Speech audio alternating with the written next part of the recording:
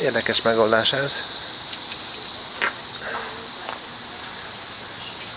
Reggel 9 este 6-ig nyitva van. Mondom, és ez, ez egy gazdag környék. És akkor a szegények, és, és akkor az így befolyt pénzt, meg, meg odaadják a szegényeknek. Tehát itt a, akik termelnek kaját itt a környéken, a saját kis kertjükbe, ide hozzák.